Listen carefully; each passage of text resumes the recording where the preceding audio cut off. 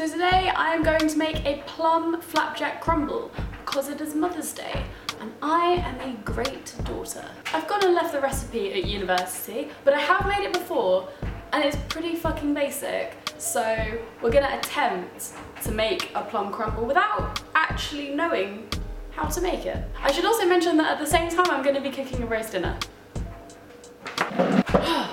These plums are rock solid. I have the biggest knife I could have possibly selected for this task and I'm not sure if that's appropriate. So as you may or may not know, I am not exactly known for my culinary skills and ability. In fact, it's verging on embarrassing. Shit. There was the tray baked cake where I put in a heaped tablespoonful of baking soda and then proceeded to give it to all the year sevens as a nice gift from the year nine girls. I'm kind of one of those people that likes to just throw things together and hope for the best. There was another time where I thought it was a good idea to make vodka pasta. I did follow a recipe, but it was absolutely gross and looked and tasted like vomit. There was also that one time where I gave my sister food poisoning. I like to think she had a stomach bug. Urgh. No, I'm not right. Fuck no. Do crumble pots exist?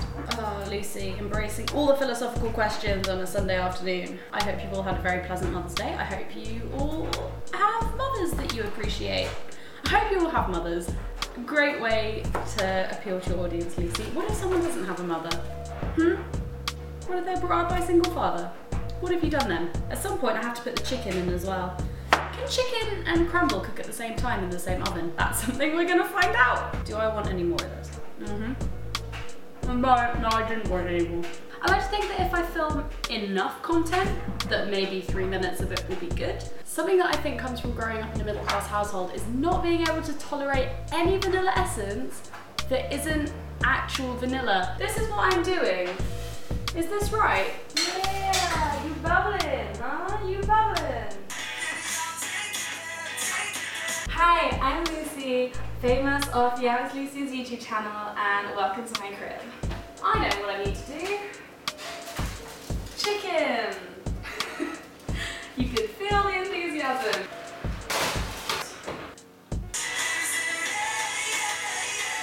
My favorite of the shit ingredients.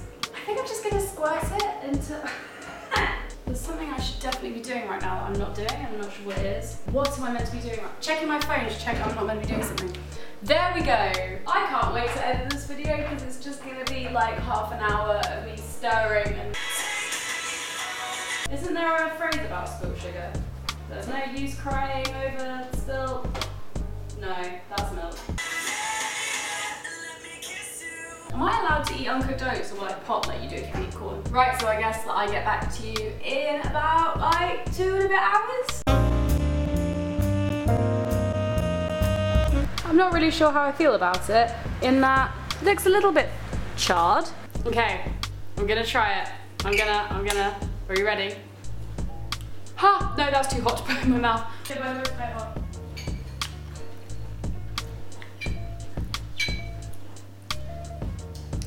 Could be a lot worse. It's definitely edible. I would give that 7.5 to an 8 out of 10, actually. Yeah, I quite like it. Thank you very much, Rowan Evenden. Thanks for watching my video. If you want, you can like it and comment on it and tell me what I should bake next. That's preferably very easy and not gonna cause any like hazards. Bye.